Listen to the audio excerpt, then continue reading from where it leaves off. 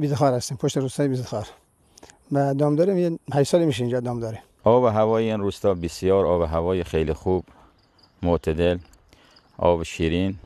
تمامی این باغاتی که مشاهده می‌کنید به وسیله چهار حلقه چاه و حدوداً چهار حلقه هم ما قنات داریم که در واقع به وسیله همینا آبیاری میشه. حدودا باید ارز کنم که 90 درصد کشاورزی اینجا به صورت مکانیزه و آبیاری تحت فشار و قطره‌ای در واقع اداره میشه. ده هکتار ما نخیلات داریم که گونه های مختلفی است.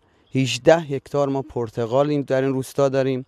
18 هکتار نارنگی داریم. 10 هکتار تقریبا لیمو ترش داریم. اینجا فعالیت دامداری هم صورت میپذیره.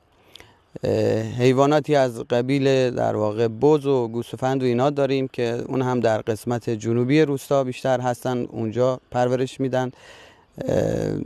مرغ اینجا تولید داریم. زنبور اصل که باید ارز کنم که نفر برتر کشور و نفر اول کشور جناب آقای رحمانی پور از اهالی این روستا هست. اینجا تقریبا به صورت مستقیم تقریبا 70 نفر به صورت مستقیم مشغول کارهای کشاورزی هستن به صورت غیر مستقیم که ما باید درس کنم که حدود شاید 200 نفر به صورت غیر مستقیم با این محصولات کشاورزی سر و کار دارن. خوشبختانه اینجا مردم نه تنها غافل نماندن بلکه اونقدر تلاش و کوشش کردند که من به جرأت باید بگم که یکی از زیباترین روستاهای جنوب استان بوشهر محسوب میشه.